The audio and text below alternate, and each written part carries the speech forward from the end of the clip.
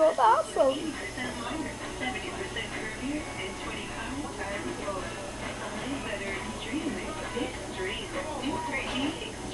Is the grasshopper still moving?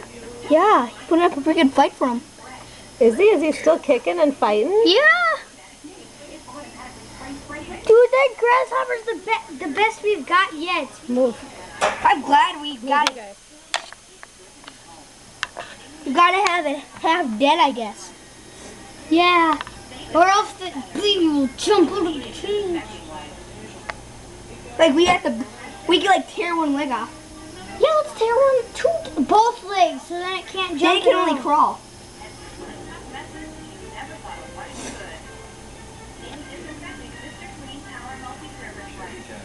Is the grasshopper still moving? Mm-hmm. Is it? No, now it's dead.